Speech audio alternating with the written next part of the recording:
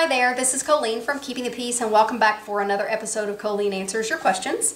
Today it comes from Herick USMC in the down bar of my two-year-old cleans her gun and that's a time when I was cleaning my gun and she was watching and she was wanting to copy everything I did on her toy gun. He says, hi, I have a two and a half year old boy at home and he's always staring at me while I clean my gun. I have a Winchester 1911 um, that's broken but looks almost identical to a real gun. Should I be letting my son clean that one that looks real or even identical to my own or should I stick with more like a toy gun? Okay, all I'm going to do is speak from my own experience because everyone has different feelings on this and I can tell you what we're going to do, okay, with our two-year-old. We have a two-year-old also. Until she's able to demonstrate that she can use proper safe gun handling with her toy guns, she will not be allowed to touch a real gun even if it's unloaded. So she has a toy revolver and she's being taught my gun safety song. If you haven't heard my gun safety song, then click here to watch that. She is learning the song. She understands what the different safety rules are, but she's definitely not consistent yet with her handling of her toy gun, so she's not yet allowed to touch a real one.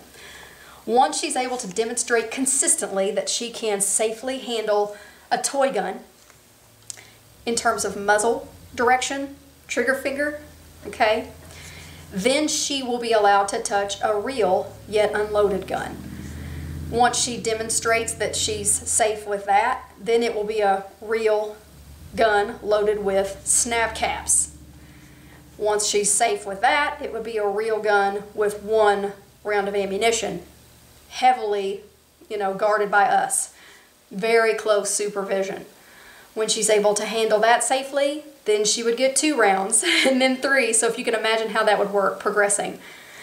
We would love to have her shooting a cricket rifle at four if it's possible, but it all depends on your specific child and how much they're able to use self-control, basically. So it's not just memorizing rules, it's having the self-control to employ them consistently. And that's my recommendation for every child. So the age might be different for each child. And if you have a young child and you have them shooting, let me know how you progressed your children in the comments down below uh, or if you have suggestions about that. This is what we've chosen, what we're going to do with our child, and I would love it if she could shoot at three.